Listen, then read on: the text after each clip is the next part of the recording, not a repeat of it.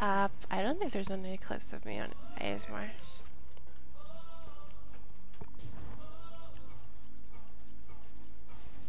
I can do some ASMR.